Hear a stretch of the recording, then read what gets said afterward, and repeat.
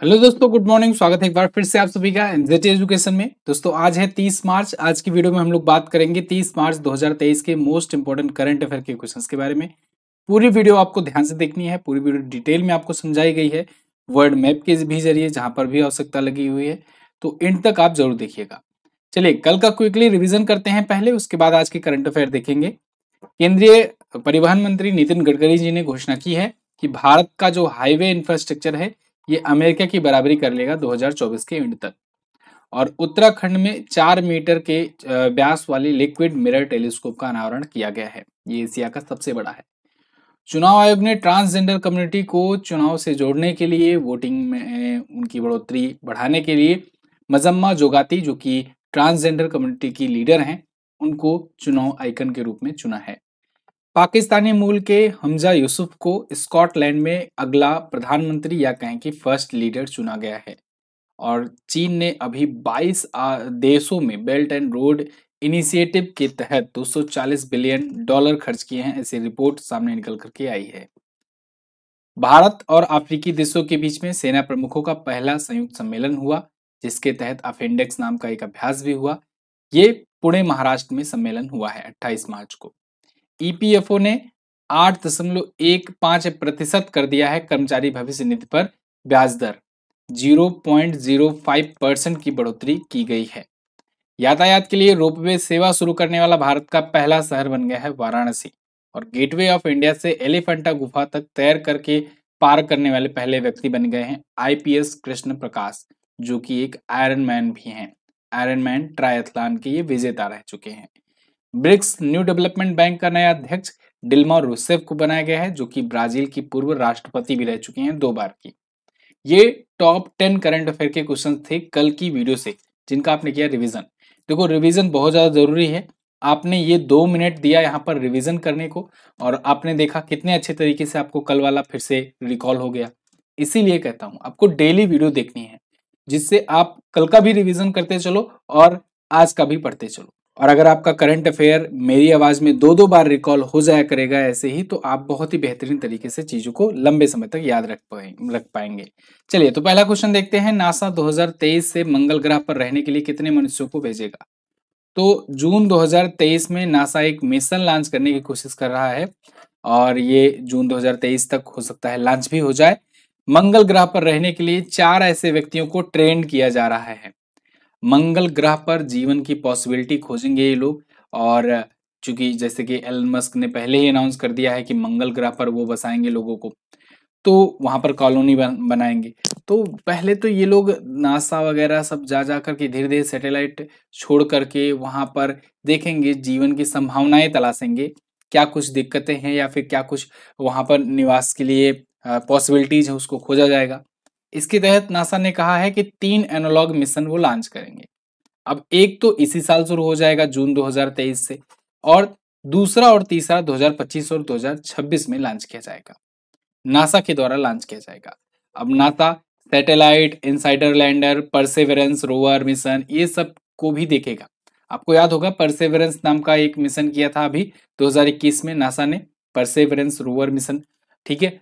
जब मैंने आपको बताया था कि होप नाम का मिशन किया था, यूएई ने और वहीं चाइना ने एक मिशन लॉन्च किया था तियानवेन फ़र्स्ट नाम से था, तियानवेन फ़र्स्ट हाँ यही नाम था, तियानवेन फ़र्स्ट नाम से था चाइना वाला और परसेवरेंस जो था, ये नासा का था। क्लियर है? तो नासा के बारे में बेसिक अगर इंफॉर्मेशन की बात करें तो अमेरिका की स्पेस एजेंसी है, National Aeronautics and Space Administration, इसका फुल फॉर्म होता है। उन्नीस में स्थापना हुई थी। बिल नेल्सन इसके अध्यक्ष हैं। वाशिंगटन डीसी में इसका हेडक्वार्टर है। आगे। अच्छा रिवीजन की अगर बात कर लें थोड़ा सा इसके बारे में भी बात कर लेते हैं। रिवीजन अभी हम लोगों ने देखा था कि नासा का ही एक प्रोग्राम है जिसके तहत जो पार्कर सोलर प्रोब लॉन्च किया गया था ना, उसी का एक यूनिट है। उसने सूर्य पर कोरोनल छिद्रों की खोज की है कोरोनल होल की खोज की है, जो कि तीस गुना बड़ा है पृथ्वी से। इसके अलावा मैंने आपको नासा से बताया था कि नासा और इसरो मिलकर के निसार नाम की सैटेलाइट लॉन्च करने जा रहे हैं। निसार जो सैटेलाइट है, नासा और इसरो का सिंथेटिक एपर्चर रडार है। अगला, हाल ही में किस एनजीओ को चिल्ड्रंस चैंपियन अवार्ड 2023 से सम्मानित किया गया? तो अभी हाल ही में तपोवन नाम का एक एनजीओ है। एनजीओ बोले तो नॉन गवर्नमेंटल ऑर्गेनाइजेशन यानी एक ऐसा ऑर्गेनाइजेशन जिसमें गवर्नमेंट का सपोर्ट नहीं होता है वो इंडिविजुअल या किसी कंपनी या किसी ऑर्गेनाइजेशन के द्वारा वो चलाया जाता रहता है और वो पब्लिक वेलफेयर के लिए यानी सामाजिक कल्याण के लिए होता है। तो यहाँ पर ऐसा ही एक एनजीओ है तपोवन जो कि असम में पड़ता है। असम का एक एनजीओ है और चिल्ड्रंस चैंपियन अवार्ड इसे दिया गया है। यहाँ पर आप आर्टिकल देख पाओगे, Assam NGO wins children's champion award 2023 तो 2005 में यह स्थापित किया गया था, असम के पाठशाला में ये स्थित है। पाठशाला एक जगह है। और ये काम क्या करता है? ये एनजीओ जो विशेष रूप से बच्चों और जो आर्टिज्म से पीड़ित जो बच्चे होते हैं, उनके समर्थन पर ये केंद्रित होता है, फोकस होता है। हाल ही में संघाई सहयोग संगठन का संवाद साझेदार कौन बना? तो एस संघाई कोऑपरेशन ऑर्गेनाइजेशन का अभी हाल ही में दोस्तों डायलॉग पार्टनर बना है सऊदी अरेबिया। सऊदी अरेबिया देखो, ये चाहता है कि एस में उसे शामिल कर लिया जाए as a permanent member S में अगर बात करें तो नौ सदस्य देश हैं। अभी मैं आपको इसको ट्रिक से याद करवा दूँगा। फिर से ट्रिक मैंने आपको बताया हुआ है कई बार वैसे। तो सऊदी अरब चाहता है कि ये भी इसमें शामिल हो जाए। लेकिन अभी आप जानते हो, इसमें ईरान अभी रिसेंटली शामिल हुआ है। ईरान रिसेंटली शामिल हुआ है और ईरान और सऊदी अरेबिया की तो बिल्कुल बनती नहीं है। सिया सुन्नी वाला विवाद है। ठीक है? तो फ़िलहाल देखो, लगा तो है सऊदी अरब यहाँ पर जो क्या डेवलपमेंट हुई है उसको हम लोग जानते हैं। अभी क्या हुआ है कि रियाद को या कहें कि सऊदी अरब की जो राजधानी है, उसको संघाई कोऑपरेशन ऑर्गेनाइजेशन में डायलॉग पार्टनर के रूप में ऐड किया गया है। और ऐसा इसलिए ऐड किया जा रहा है क्योंकि इसके चाइना से संबंध जो है वो काफ़ी अच्छे होते जा रहे हैं और चाइना की मदद से ये चाह रहा है एस में घुस जाए। अब देखो डायलॉग पार्टनर बनना समझ लो इसका पहला कदम है। फ़र्स्ट स्टेप है इसमें इंटर होने का। धीरे धीरे ये शामिल हो सकता है आगे चल करके। फ़िलहाल संघाई सहयोग संगठन की बात करें तो ये एक ऑर्गेनाइजेशन है, एक क्षेत्रीय सहयोग संगठन है, कहाँ पर? खास करके एशिया में। बहुत सारे देश इसमें महत्वपूर्ण हैं जो इसमें शामिल हैं, जैसे भारत भी इसमें शामिल है, नौ देश टोटल हैं इसमें, और इस बार की समिट भी भारत ही आयोजित करेगा, इसकी अध्यक्षता करेगा। गोवा में समिट आयोजित होगी, ध्यान रखना, मई 2030 में ये दो 2023 में ये समिट होगी, यानी इसी साल। और एस की अगर स्थापना की बात करें 2009 में हुई थी। बीजिंग में इसका हेडक्वार्टर है। आप लोग इंतज़ार कर रहे हो ट्रिक का, ये नौ देश आपको कैसे याद करना है। देखो, मैंने आपको एक कविता बना करके दी थी। कविता क्या? मतलब एक लाइन थी, वही आपको बोलना है। क्या बोलना है? भारत की रुचि, भारत की रुचि और पाकिस्तान का ईरानी ताऊ। क्या बोलना है? पाकिस्तान का पाकिस्तान का ईरानी ताऊ। ईरानी ताऊ। इसी से आप नौ के नौ देश निकाल सकते हो। कैसे? थोड़ा सा पेन का कलर में चेंज करके आपको बताता हूँ, जिससे आप आराम से कर पाओगे। चलो, भारत की रुचि में एक तो मिल गया भारत, दूसरा की से मिल गया किर्गिस्तान। रू से रूस, ची से चीन, पाकिस्तान से पाकिस्तान और का से कजाकिस्तान। ध्यान रखिएगा, एक है किर्गिस्तान और एक है कजाकिस्तान, ठीक है? तो की और का दोनों ही है। इसके अलावा ईरानी ये सातवां हो गया और ईरानी मतलब ईरान अभी रिसेंटली ऐड हुआ है और ताऊ ताऊ में ता से हो गया तजाकिस्तान और ऊ से हो गया उज्बेकिस्तान। ठीक है? तो ये नौ देश हैं, इनको आप याद रखेंगे। रिसेंटली पूछा जाए कौन ऐड हुआ है तो आप बताएँगे ईरान ऐड हुआ है लास्ट वाला भी। ठीक है ना? आगे बढ़ते हैं। अच्छा वैसे अगर इस बार के समिट की अगर बात ही कर रहे हैं तो एस समिट की भारत मेजबानी कर रहा है। और भारत किसकी मेजबानी? इस बार हॉकी विश्व कप की मेजबानी किया, ये तो हो ही गया। हॉकी वर्ल्ड कप समिट में भारत इस बार जी ट्वेंटी की भी तो मेजबानी कर रहा है। बिल्कुल कर रहा है। इसके अलावा रायसीना डायलॉग तो हमेशा होता ही है भारत में। भारत का ही है मीटिंग वो भी अभी आयोजित हुआ। इसके अलावा भारत इस बार वर्ल्ड कप, जो क्रिकेट वाला है, उसकी भी मेजबानी करेगा।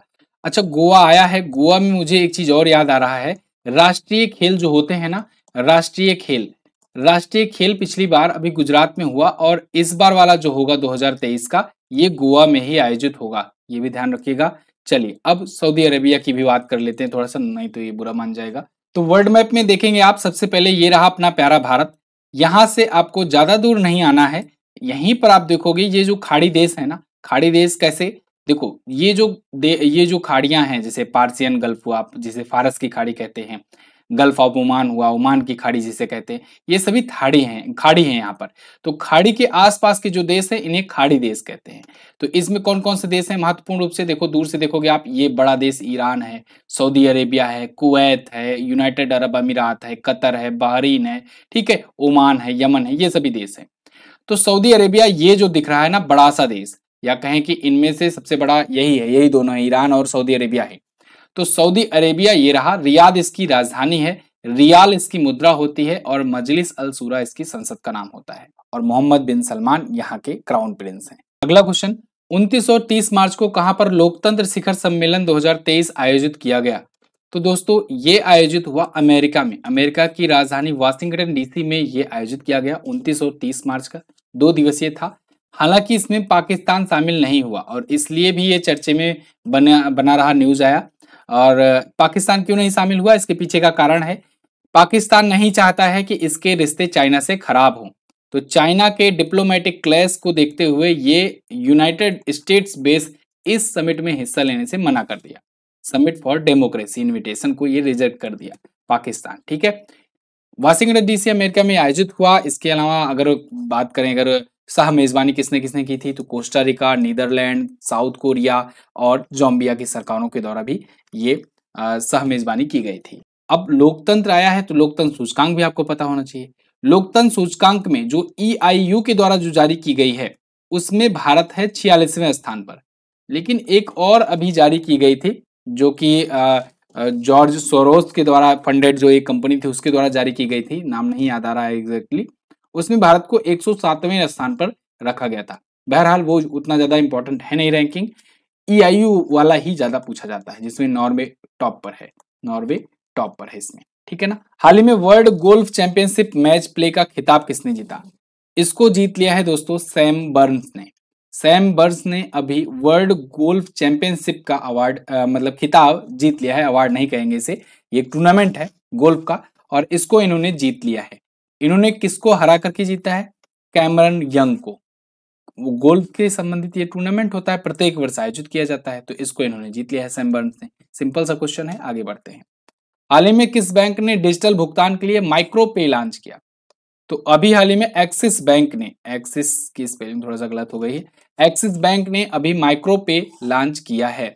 ये एक प्रकार का पीओएस सिस्टम है पीओएस बोले तो पॉइंट ऑफ़ सेल जैसे आप जाते हो किसी शॉपिंग मॉल में तो सामान खरीदते हो, उसके बाद उसको सामान पकड़ाते हो तो वो एक डिवाइस आपके सामने करता है, ठीक है? वो डिवाइस जिसमें आप क्रेडिट कार्ड स्वाइप करते हो, वो क्या होता है? वही है पीओएस डिवाइस ठीक है? पॉइंट ऑफ़ सेल डिवाइस जिसके थ्रू आप क्विकली पेमेंट कर पाते हो।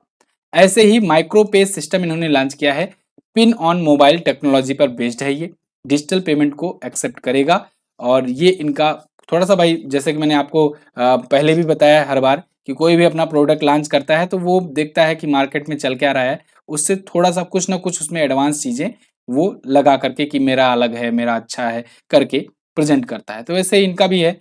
इसके लिए इन्होंने एजी टैप और माई पिन पैड के साथ सहयोग किया हुआ है। इसके साथ साझेदारी करके इसे लॉन्च किया है।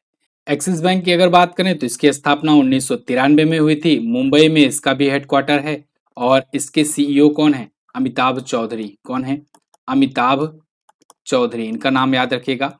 अमिताभ चौधरी जी हैं। अच्छा अभी कुछ दिन पहले ही आपको याद होगा बी गोप कुमार को। बी गोप कुमार को, गोप कुमार को एक्सिस बैंक का जो म्यूचुअल फंड है ना, म्यूचुअल फंड, उसका सीईओ बनाया गया है। म्यूचुअल फंड का सीईओ बनाया गया है। अच्छा एक्सिस बैंक से एक और न्यूज़ आई थी कि इसने सिटी बैंक का अधिग्रहण किया है भारत में। सिटी बैंक जो भारत में इसका व्यापार था ना इंडिया इसका एक्विजिशन किया है एक्सिस बैंक ने। तो ये भी आप याद रखेंगे, पूछा जा सकता है। अगला, हाल ही में एनडीटीवी का गैर कार्यकारी अध्यक्ष किसे नियुक्त किया गया? तो ये नियुक्त किए गए हैं यूके सिन्हा यूके सिन्हा एक बहुत बड़ा नाम है। सेबी के ये पूर्व अध्यक्ष रह चुके हैं। सेबी तो आप जानते हो ना Securities and Exchange Board of India तो इसके पूर्व अध्यक्ष रह चुके हैं। पूर्व अध्यक्ष रह चुके हैं ये और इनको अभी हाल ही में एनडीटीवी का नॉन एग्जीक्यूटिव चेयरमैन नियुक्त किया गया है। यहाँ पर आप आर्टिकल देख पाओगे NDTV appoints former SEBI chairman UK Sinha as non executive chairman अच्छा ये कब से कब तक चेयरमैन रहे? अगर आपसे पूछा जाए एसबीआई के कब से कब तक अध्यक्ष रहे तो आप बताएँगे 2011 से 17 तक। अभी कौन है? माधवी पुरी बुज। माधवी पुरी बुज है। अभी वर्तमान में, ठीक है ना?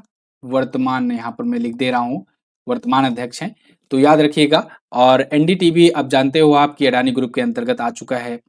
एनडीटीवी ने साथ ही साथ वेलस्पन इंडिया की मुख्य कार्यकारी अधिकारी यानी चीफ एग्जीक्यूटिव ऑफिसर जो है सीईओ दीपाली गोयनका को, इनको भी एक इंडिपेंडेंट डायरेक्टर के रूप में नियुक्त किया है। ये ऐसा किया जाता है, इसमें ये कोई नई बात नहीं है, बहुत सारी कंपनियाँ ऐसा करती हैं कि वो पूर्व जैसे कि कोई बड़ी ऐसी संस्था हो, उसके डायरेक्टर रह चुके हों, रिटायर्ड ऑफिसर रह चुके हों, उनको अपने बोर्ड मेंबर में शामिल करती हैं। ऐसा क्यों करती हैं? जिससे पारदर्शिता बनी रहे, साथ ही साथ कोई घपला ना कर सके, जो शीर्ष अधिकारी है, वो कोई हेर फेर ना कर सके। और साथ ही साथ आरबीआई के सामने अपने आप को साफ़ सुथरा भी दिखा सकेंगे कि हाँ हम तो इनको ऐड किए हैं अपने बोर्ड मेंबर में तो देखो हम कितने अच्छे हैं। ठीक है, फ़िलहाल आप भी अच्छे बनना चाहते हो तो ये ई बुक लीजिए। इस ई बुक में आपको वो सारे कंटेंट मिल जाएँगे जो आपको ज़रूरी है करंट अफेयर से रिलेटेड अगर आप किसी भी एग्ज़ाम की तैयारी कर रहे हो तो।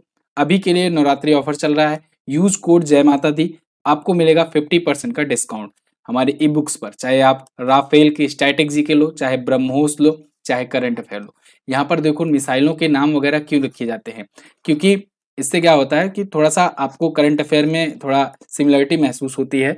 थोड़ा सा रिलेट कर पाते हो और चीज़ें तो आपको डिटेल में तो यहाँ पर कंटेंट मिलेगा ही। बहुत अच्छा कंटेंट है।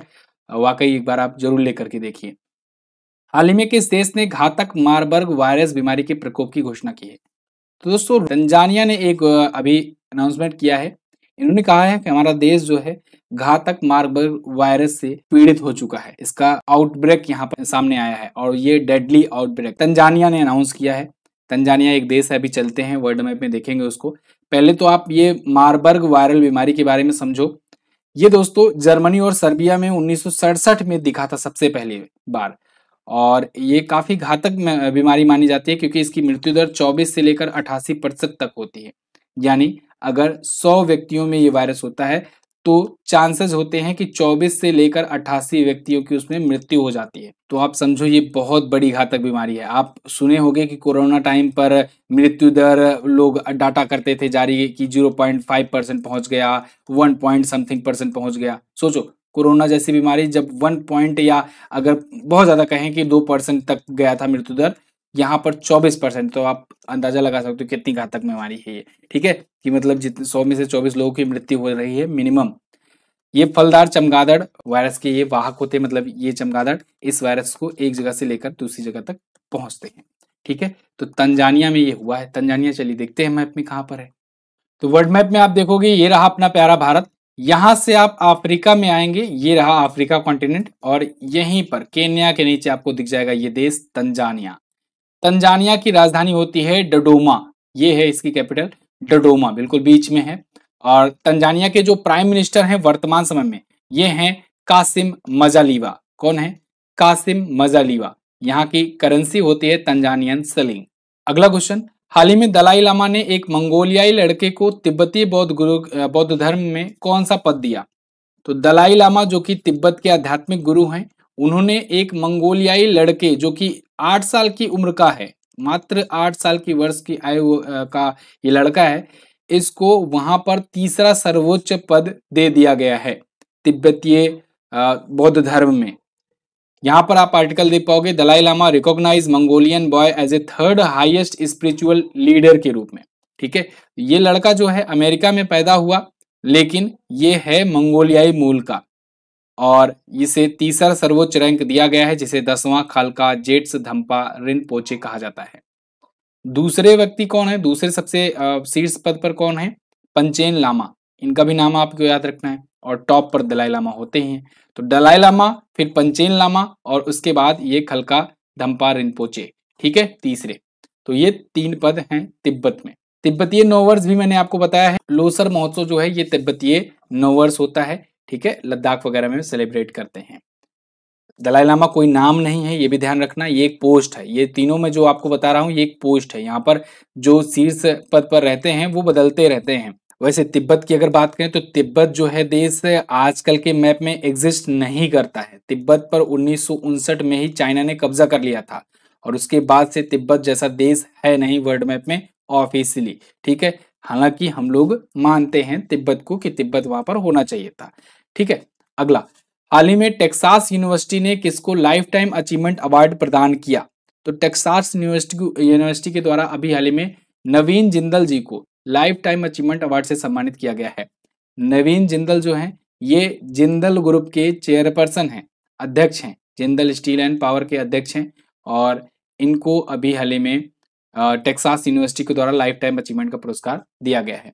अच्छा टेक्सास यूनिवर्सिटी आज तक में केवल एक व्यक्ति, अज़ीज़ संकार, जो कि नोबेल पुरस्कार भी विजेता भी रहे हैं, उनको सबसे पहले लाइफ टाइम अचीवमेंट अवार्ड से सम्मानित की थी, उसके बाद दूसरे व्यक्ति हैं ये, नवीन जिंदल। ठीक है? ये वैसे टेक्सास यूनिवर्सिटी में पढ़ भी चुके हैं वहाँ पर। चलिए तो ये तो थे हमारे आज के दिन के टॉप टेन करंट अफेयर के क्वेश्चंस आई होप आपको वीडियो समझ में आया होगा इन्फॉर्मेटिव लगी होगी। अगर आपको कुछ भी अच्छा लगा है तो एक लाइक ज़रूर कर देना और एक प्यारा सा कमेंट कर देना। चैनल पर अगर नए आए हो, ऐसी ज़रूर जाना चाहते हो तो चैनल को सब्सक्राइब ज़रूर करो। कल मैंने आपसे क्वेश्चन पूछा था, अरावली पर्वत शिखर का सबसे ऊँचा शिखर कौन सा है? तो आप बताए बताए थे गुरु शिखर, बहुत सारे लोगों ने आंसर किया था डिटेल में आंसर किया था। आप सब लोग कोशिश किया करो डिटेल में आंसर करने का। ऑरेंज कैप पूछा गया था तो मैगलेनिन ने ऑरेंज कैप जीता हेली मैथ्यूज ने पर्पल कैप जीता था डब्ल्यू में। और डब्ल्यू किसने जीता? मुंबई इंडियंस ने। आज आपको क्या बताना है? आज आपको बताना है स्वर्णिम चतुर्भुज योजना किस प्रधानमंत्री के द्वारा लाई गई योजना थी?